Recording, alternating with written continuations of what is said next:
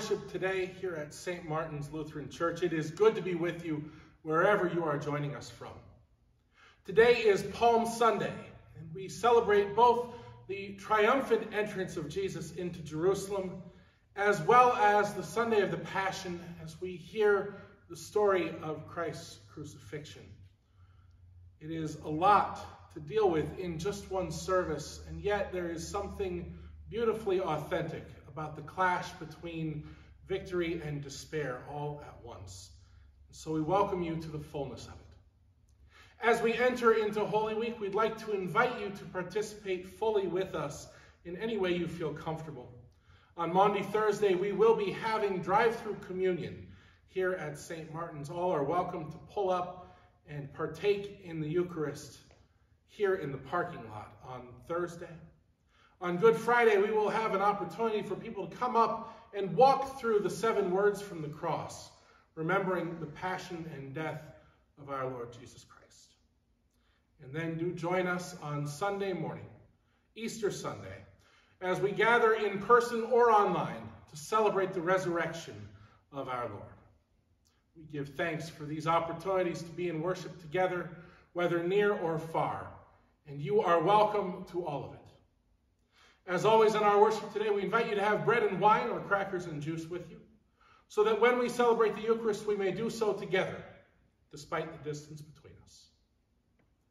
Now, beloved, let us begin our worship with the processional gospel. Blessed is the one who comes in the name of the Lord. Hosanna in the highest. The Holy Gospel according to St. Mark. Glory to you, O Lord.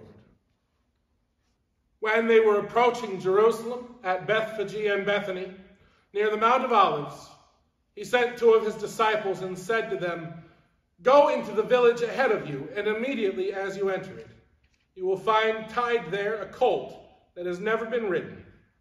Untie it and bring it.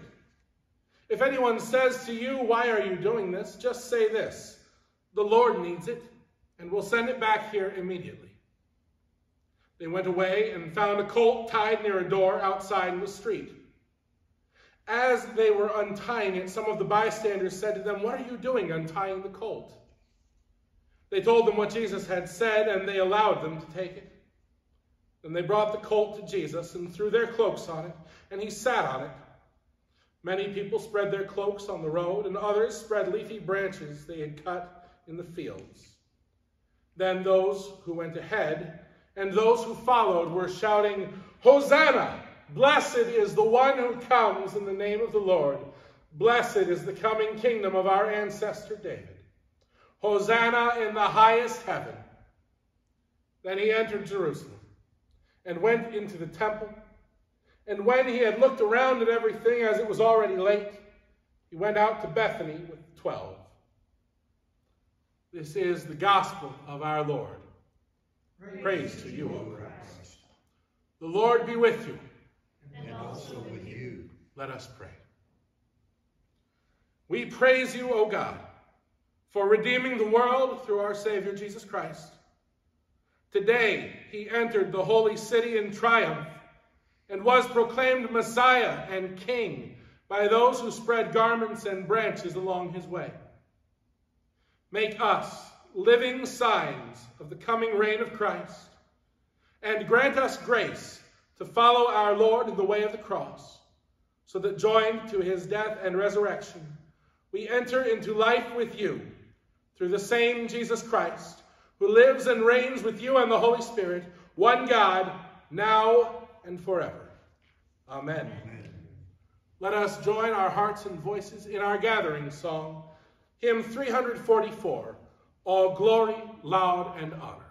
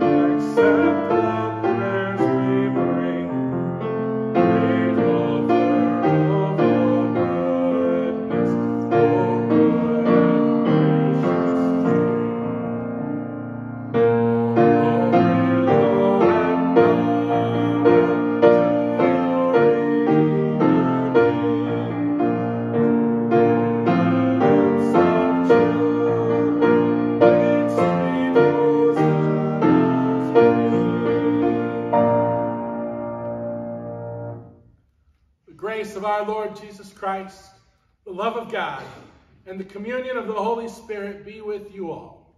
And Also with you. Let us pray.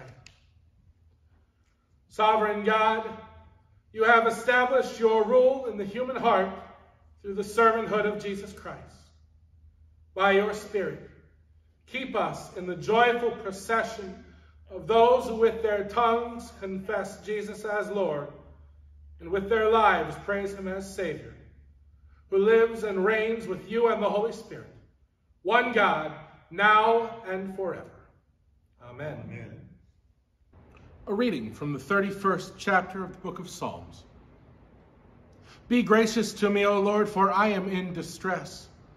My eye wastes away from grief, my soul and body also. For my life is spent with sorrow, and my years with sighing. My strength fails because of my misery, and my bones waste away. I am the scorn of all my adversaries, a horror to my neighbors, an object of dread to my acquaintances. Those who see me in the street flee from me. I've passed out of mind like one who is dead. I have become like a broken vessel, for I hear the whispering of many, terror all around, as they scheme together against me, as they plot to take my life. But I trust in you, O Lord. I say, You are my God. My times are in your hand. Deliver me from the hand of my enemies and persecutors. Let your face shine upon your servant.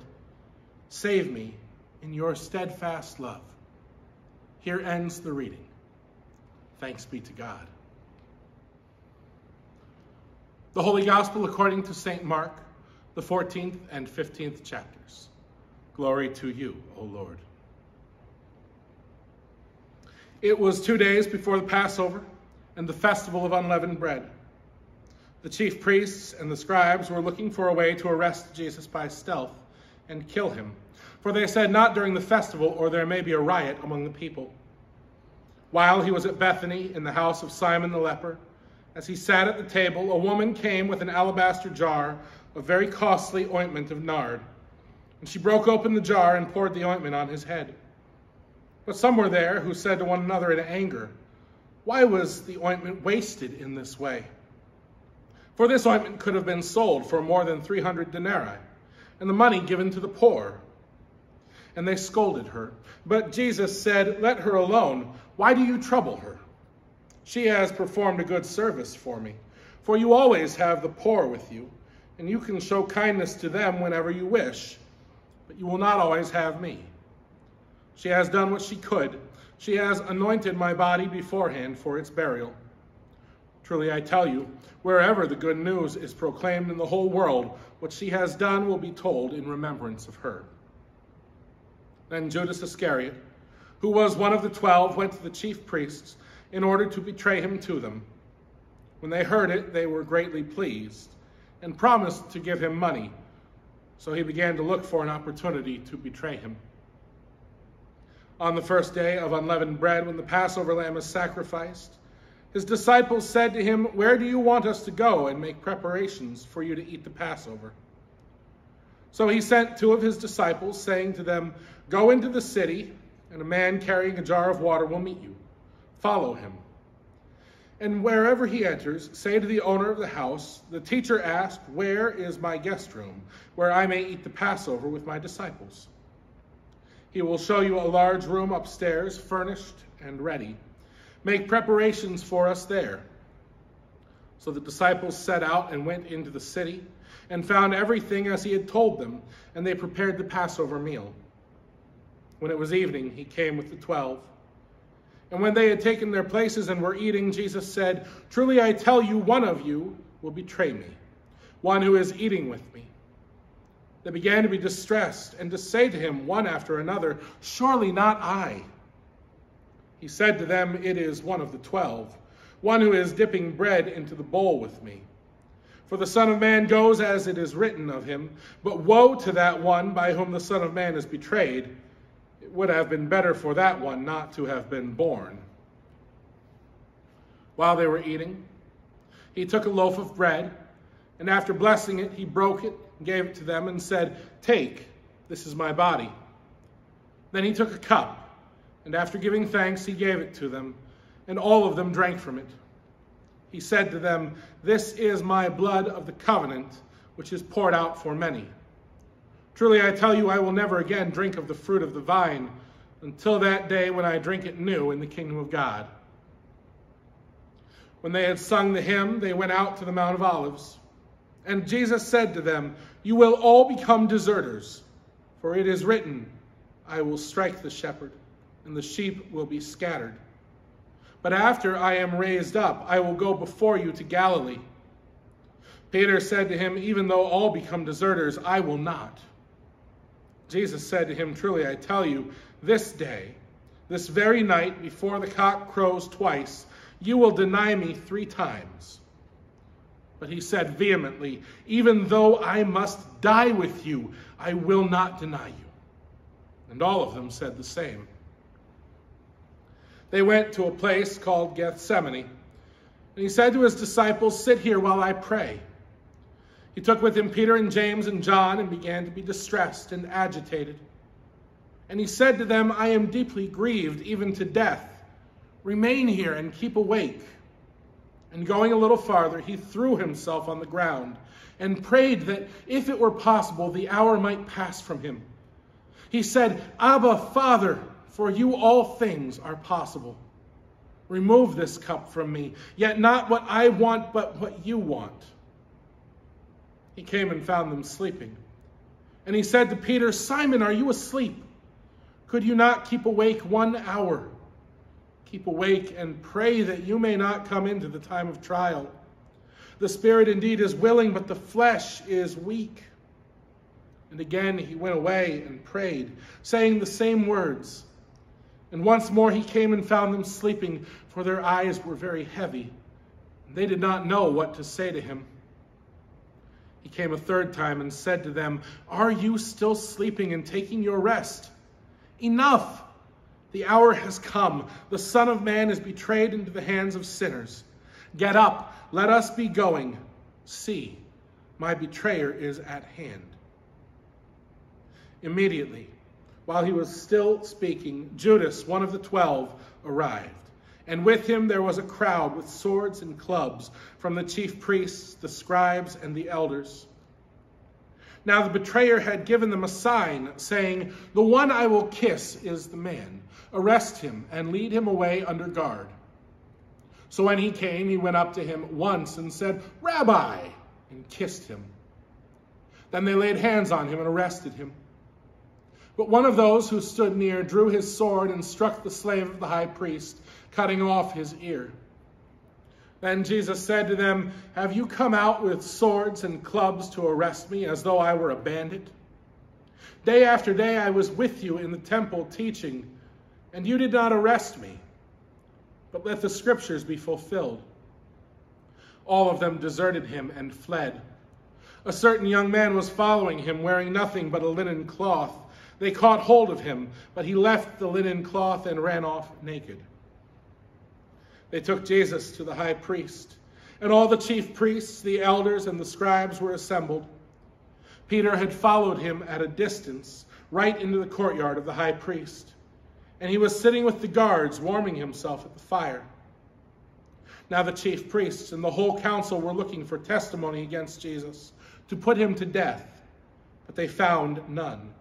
For many gave false testimony against him, and their testimony did not agree.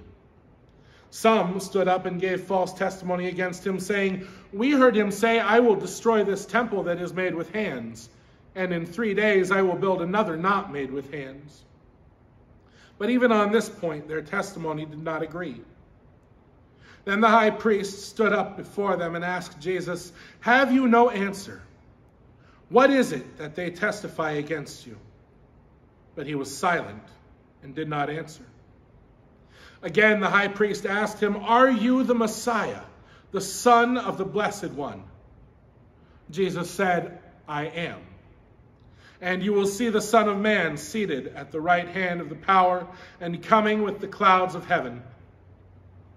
Then the high priest tore his clothes and said, Why do we still need witnesses? You have heard his blasphemy. What is your decision? All of them condemned him as deserving death. Some began to spit on him, to blindfold him, and to strike him, saying to him, Prophesy! The guards also took him over and beat him. While Peter was below in the courtyard, one of the servant girls of the high priest came by. When she saw Peter warming himself, she stared at him and said, You also were with Jesus, the man from Nazareth. But he denied it, saying, I do not know or understand what you are talking about. And he went out into the forecourt, and the cock crowed. And the servant girl, on seeing him, began again to say to the bystanders, This man is one of them. But again he denied it. Then, after a little while, the bystanders again said to Peter, Certainly you are one of them, for you are a Galilean. But he began to curse, and he swore an oath, I do not know this man you are talking about. At that moment, the cock crowed for the second time. Then Peter remembered that Jesus had said to him, Before the cock crows twice, you will deny me three times. And he broke down and wept. As soon as it was morning, the chief priests held a consultation with the elders and scribes and the whole council. They bound Jesus, led him away, and handed him over to Pilate. Pilate asked him, Are you the king of the Jews? He answered him, You say so. Then the chief priests accused him of many things. Pilate asked him again, Have you no answer? See how many charges they bring against you. But Jesus made no further reply, so that Pilate was amazed.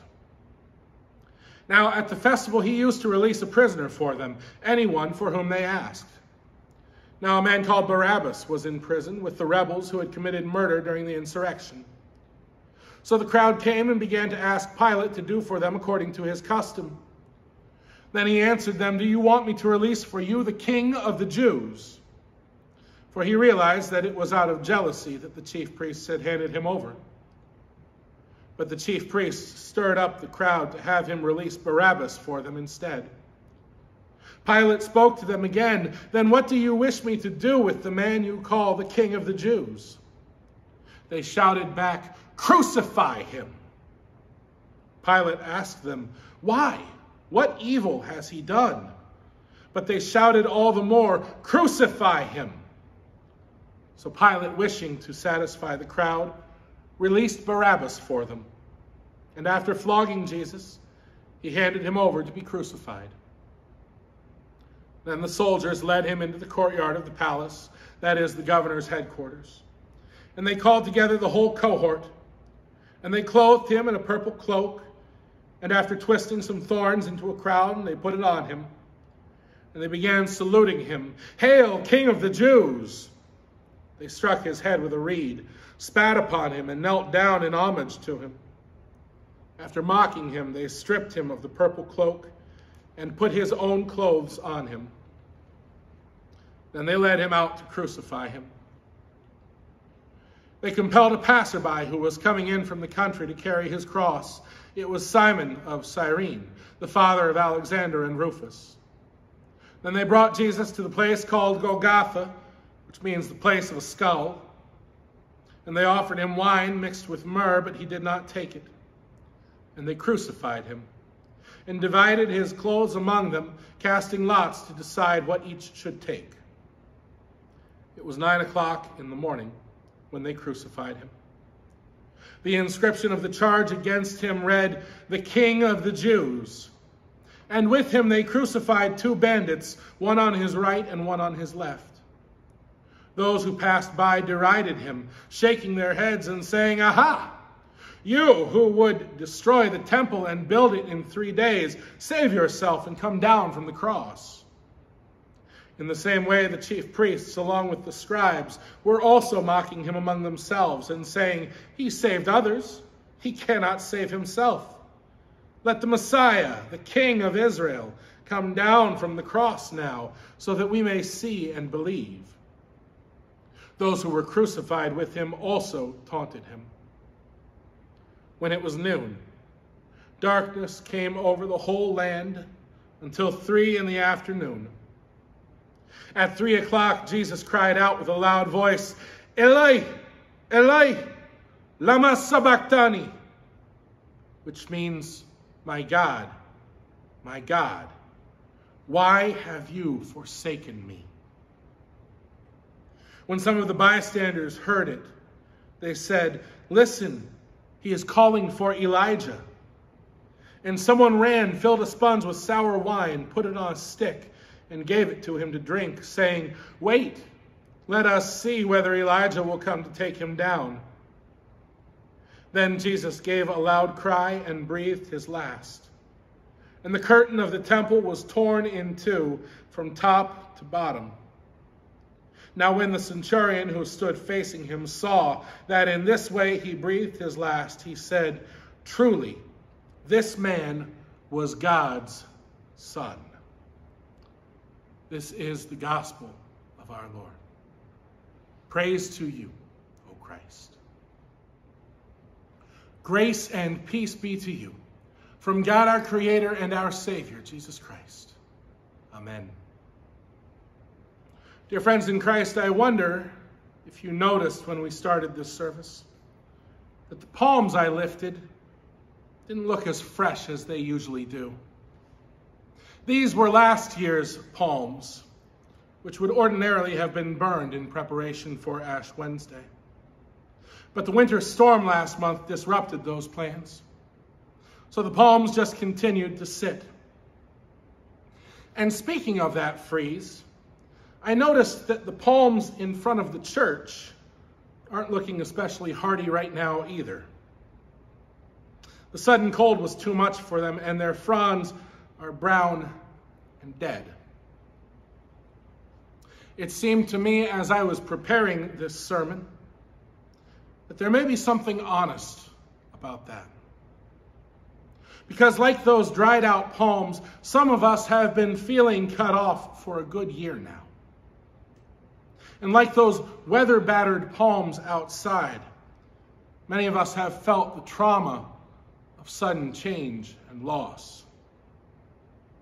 On this day, when the church comes together to remember both the triumphant entry of Christ into Jerusalem as well as his bloody passion and crucifixion, it feels like there is something honest about dead and dried palms. Today we find the disciples struggling with the darkness and pain of their beloved teacher's impending death. Jesus tells his followers that one of them will betray him. Perhaps it's a long growing sense of disillusionment that causes Judas to make the choice he does. But whatever the motive, the news of this coming betrayal causes the disciples great pain. After the meal, they go to Gethsemane, and Jesus, who is now visibly distressed, goes off a ways to pray. Abba, Father, for you all things are possible. Remove this cup from me, not what I want, but what you want. He returns to find Peter, James, and John asleep. Again, he went away and prayed, Mark tells us, saying the same words. Once more, he came and found them sleeping for their eyes were very heavy, and they did not know what to say to him. Peter, the disciple who had earlier declared, You are the Messiah, who had babbled about building tents for Moses and Elijah at the Transfiguration, who only moments earlier had vehemently sworn, Even though I must die with you, I will not deny you. This same Peter now finds himself at a loss for words. As Jesus prays in anguish, his disciples have no words for him. Not even a week before, the air had been thick with cries of Hosanna, welcoming Jesus as a conquering king.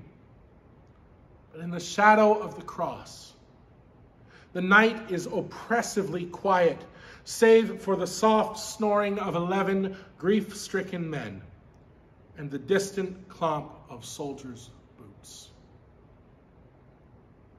Beloved, we all know what it is like to live in the shadow of the cross, to be reminded of our own brokenness and the brokenness of God's good creation.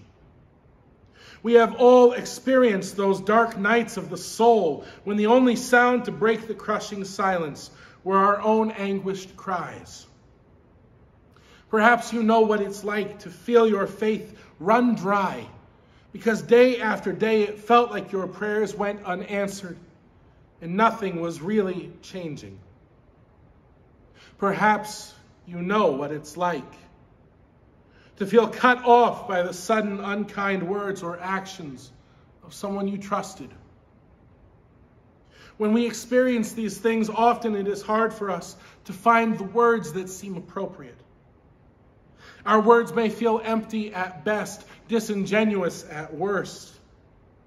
How do we speak hope when we find ourselves dried up? How do we speak love when we find ourselves face to face with someone who has cut us off? Today, these dried and dead palms seem authentic because we have been through much in this past year. It has been a year of being separated from each other and from this place, a year of intense loneliness and isolation.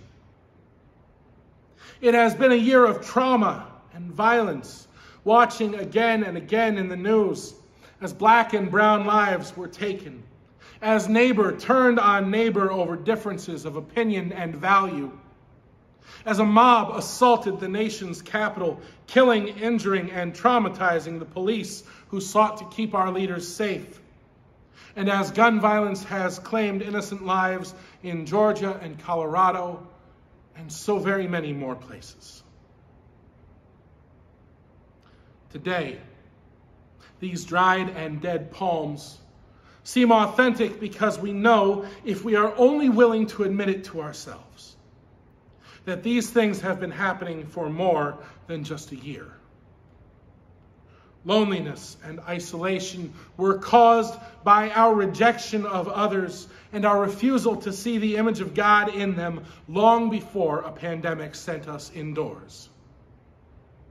Trauma and death were caused by our apathy and complacency about racism, homophobia, and gun violence long before any politicians decided to talk about these things. Today, and not for the first time, our hosannas are drowned out by our silence, and we find ourselves in the garden, whether as betrayers, deniers, or deserters of the gospel calling Christ has put on our lives. But I trust in you, O Lord, writes the psalmist. I say, You are my God. My times are in your hands. Deliver me from the hand of my enemies and persecutors. Let your face shine upon your servant. Save me in your steadfast love. Dear church, even when our triumphs turn to tragedies, even when we languish in difficult days, even when we endure the sudden pain of change and loss, there is yet hope. It lies in that little word, but. But I trust in you, O Lord. In spite of all the evidence that says we should despair, in spite of the hopelessness of our situation, we still trust. Because we know that Christ came to seek and to save the lost in just such a broken world as this. Because in Gethsemane, in his own dark night of despair, Jesus cried out, Let this cup pass from me, but not what I want, but what you want and the Lamb of God, who takes away the sin of the world, endured abandonment so that we might know that we are never alone. The Lamb of God, who takes away the sin of the world, endured agony so that we might find peace. The Lamb of God, who takes away the sin of the world, endured death so that we might live. And we trust in that promise. No matter how dark the night gets, no matter how crushing the silence, no matter how isolating the loneliness, we trust that promise. Because we know the story doesn't end on Good Friday. The story does not end at the cross. Beloved in Christ, Easter is coming, but not yet. It may still get darker before the stone is rolled away. There will be pain before there is peace. There will be tragedy before there is triumph. But thanks be to God, we are not alone. Christ is with us, making all things new. In his death, he makes us God's own, and in his life, we too shall live. And so now, Now is the time for us to keep awake and pray. To stand with those who are suffering when there are no words. To help carry the heavy burdens of our brothers and sisters who are stumbling in the shadows. Now is the time to lift our voices and speak hard truths against easy wrongs. Now is the time to work to repair what has been broken and mend what has been hurt. Now is the time to take up our cross and follow Jesus into the purpose for which he has claimed us and called us. We do this not because of our great strength, but because of God's great grace. Not because of our great passion, but because of God's great compassion. Not because we have changed, but because the life, death, and resurrection of Jesus has changed everything. As we go out this day, may we raise up our palms, even those that are dead and dried, because God can change the world even through our failings and faults if we are willing to offer them up. As we go out this day, may we raise up our hosannas, crying out to the one who is mighty to save, even as we recognize that we are not. As we go out this day, may we raise up our eyes to see the Lamb of God who takes away the sin of the world. And may we trust that this same Jesus goes with us, bringing new life and new hope. Amen. Now let us join our hearts and voices in our hymn of the day, hymn 343, My Song is Love Unknown.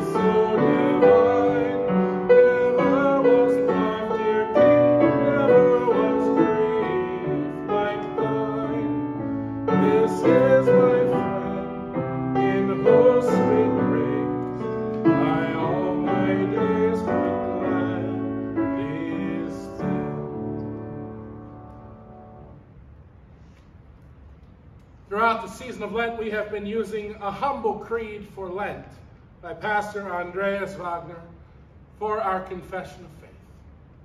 Let us confess our faith using these words at this time. I believe in God, creator of heaven and earth, who gave man and woman free will and entrusted this precious world to us. I believe in Jesus Christ, his Son, our Lord, who was born in a manger by Mary, a woman of humble beginnings. Refusing to seek power and turning away from the sword, he died for us, the Lamb of God. He descended into the darkest of all places, but rose again on the third day, bringing life and hope to all. I believe in Christ's humble spirit, conceiving the holy, apostolic, and universal church, which is among us and beyond us, before us and after us. I believe in a church comprised of sinners and saints, imperfect and in need of grace, yet blessed, the body of Christ. I believe in the forgiveness of sins, the resurrection of the body, and the life everlasting. Amen.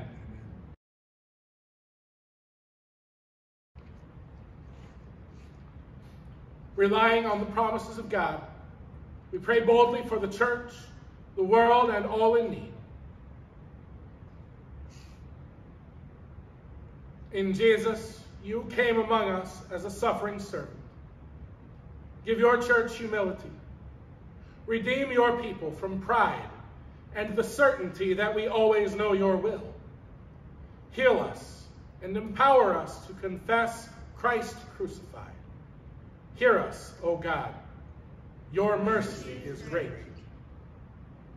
In creation, life springs from death. Redeem your creation, awaiting resurrection. Restore lost habitats and endangered species. Create new possibilities for areas affected by climate change. Grant relief from natural disasters and nurture new growth. Hear us, O God. Your mercy is great. Jesus was handed over to the powers of this world. In all nations, instruct the powerful that they would not exploit their power but maintain justice. Sustain soldiers and guide those who command them that they serve those in greatest need. Hear us, O God. Your mercy is great. On the cross, Jesus joined all who feel forsaken. Abide with those who are condemned to death. Defend those who are falsely accused. Console and strengthen those who are mocked or bullied. Accompany all who suffer, especially Michael, Anna Marie, Al, Pat, Jeff, Barbara, Jean, Mitzi, James, John, Don, Terry, Dave, Dawn, Molly, Millie, Don, Deborah, Sharon, Steve, Jim, Amy, Dean, Mike, Pat, Vito, Adriana, and all those we name before you now, aloud or in the silence of our hearts.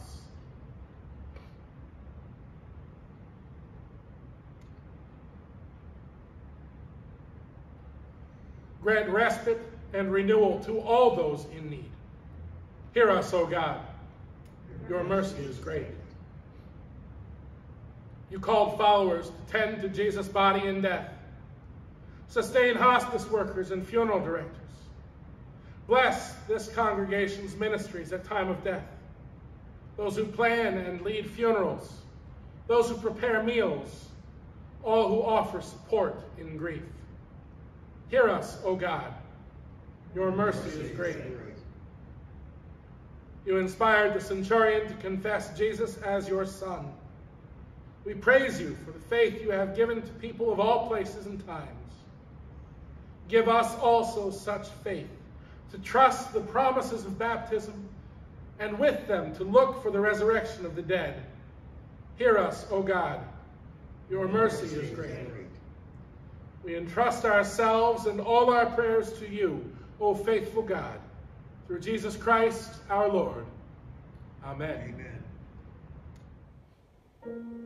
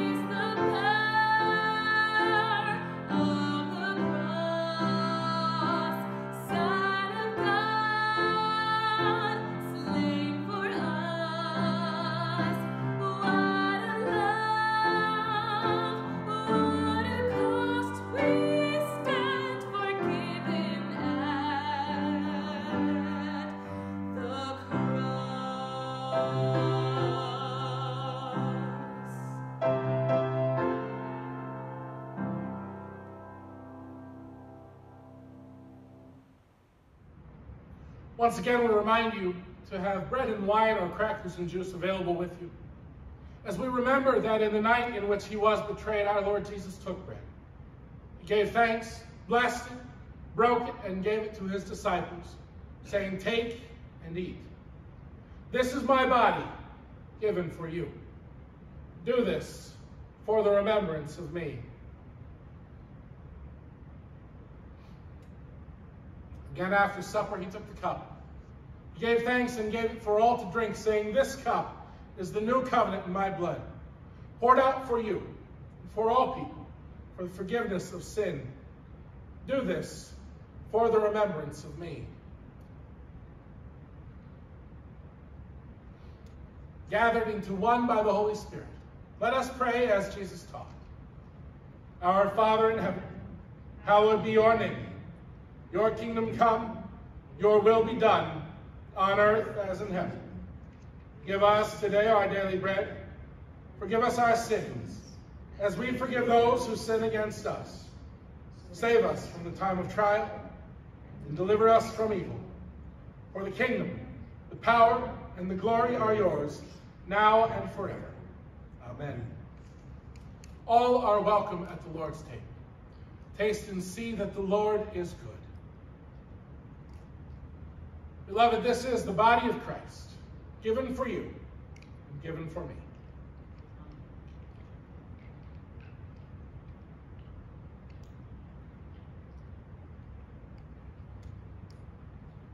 Beloved, this is the blood of Christ, shed for you and shed for me.